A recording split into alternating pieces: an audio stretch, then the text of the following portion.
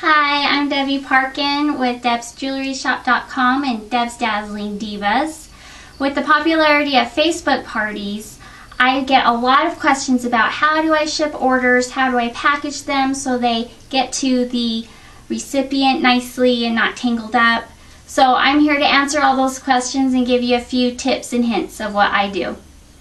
Um, I ship from home personally and so what you need to do um, to be able to do that is you need to have a scale, um, shipping supplies, and a ship program on your computer.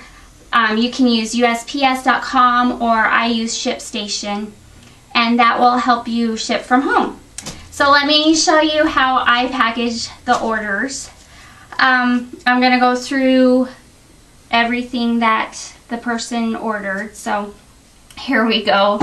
Um, first of all, um, when I when someone orders rings, I don't want them to get lost in the packaging, and so I buy these cute little ring baggies just at any hobby or craft store, and I put the ring in there, and it gives it um, makes it a little bit bigger so it you won't throw it out in the garbage.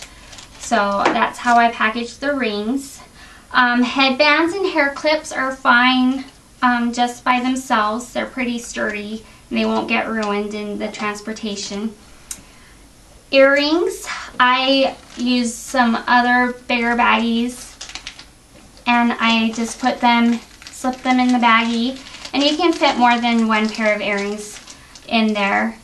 Or if you don't want to invest in the baggie, I get some hot pink, pretty, stylish uh, tissue paper and I just wrap up the earrings that way. So they're nice and protected like that. Um, bracelets are the same way. You can put them in a baggie also. You can fit more than one if you want in there. Or um, if they don't fit in a baggie, you can also just tissue paper those up as well. Like how fun. Um, necklaces, I keep, I try to keep them in the plastic sleeves so they're easier and faster to ship. So when I ship them, I just simply fold them in thirds like that um, for the larger necklaces. Um, if you don't have the plastic sleeves, you can again buy some at the Craft and Hobby store. There, here's a long sleeve one. And then here's a short one for um, the shorter necklaces. This is just a pretzel baggie. If you make chocolate covered pretzels, they go in these. But I'm like, huh, those can fit short necklaces. So you truly have a paparazzi brain if you think everything in jewelry. So again, if you don't want to do the baggies, you can get your trusty nifty tissue paper and fold it up like that. You just don't want the necklaces getting tangled up with each other. So everything's prepped and ready for shipping.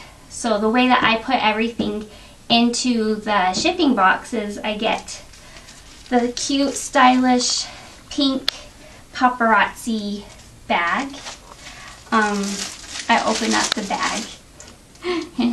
I put the hair accessories in first.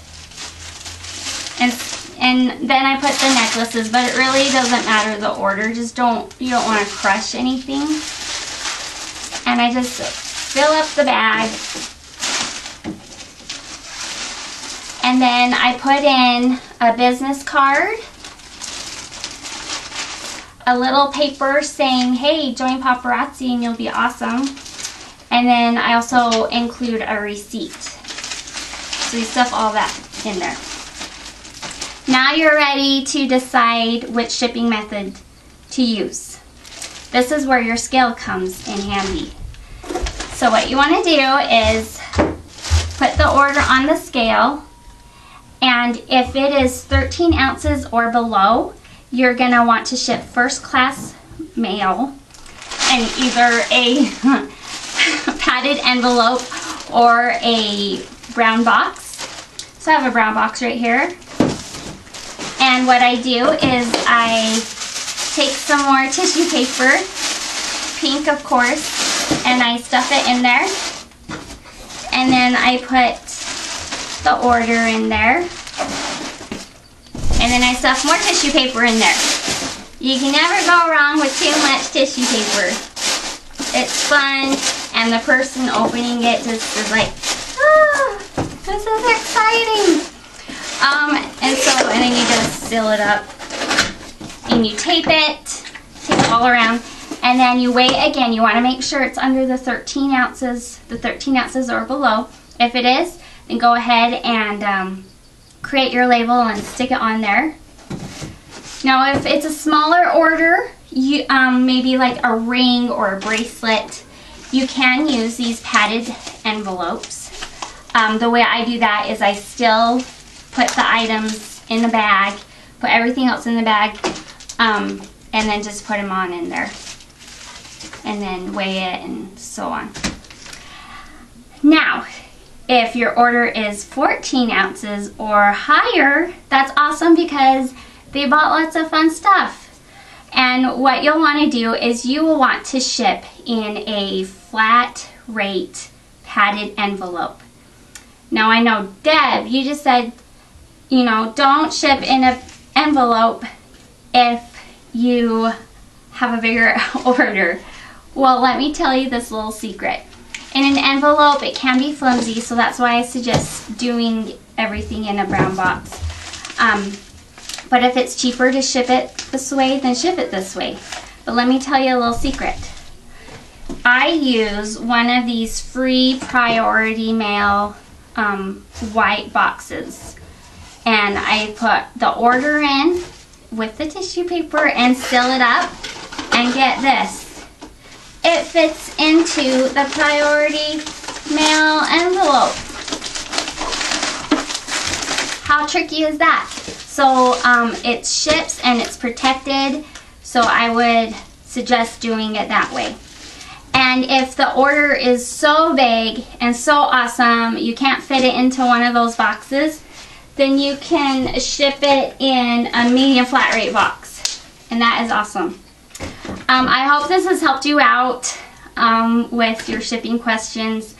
And if you have any questions, please contact me or check out debsjewelryshop.com. And we will see you later. Bye!